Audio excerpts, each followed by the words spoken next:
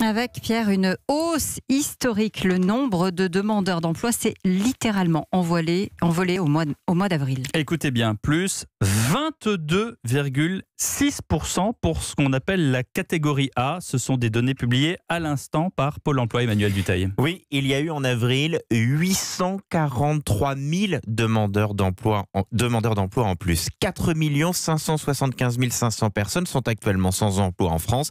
C'est tout simplement du jamais vu depuis la création de la série statistique en 1996. La hausse est, comme vous l'avez dit Pierre, hein, de 22,6% contre 7,1% en mars, qui était déjà bien évidemment énorme. Alors quand on parle de catégorie A, on parle de personnes qui n'ont pas du tout travaillé sur le mois écoulé. Toutes les tranches d'âge sont concernées par cette hausse, mais ce sont les moins de 25 ans qui sont les plus touchés. Cette augmentation est portée par ceux qui cherchent des emplois dans le secteur du tourisme, du bâtiment ou encore du spectacle. Et si ça augmente autant, c'est que beaucoup de demandeurs d'emploi qui arrivent à avoir traditionnellement une activité réduite pendant euh, le mois. Là, ils n'ont rien pu trouver. Ces chômeurs qui viennent, alors c'est un peu technique, mais qu'on appelle les catégories B et C, expliquent trois quarts de la hausse du chômage en catégorie A un quart malgré tout sont de nouveaux inscrits. Ça veut dire quoi? Eh bien, ça montre très clairement que le marché de l'emploi est complètement bouché pour ceux qui sont actuellement au chômage et que certains commencent à perdre leur poste et s'inscrivent donc maintenant à Pôle emploi. Merci Emmanuel Duteil.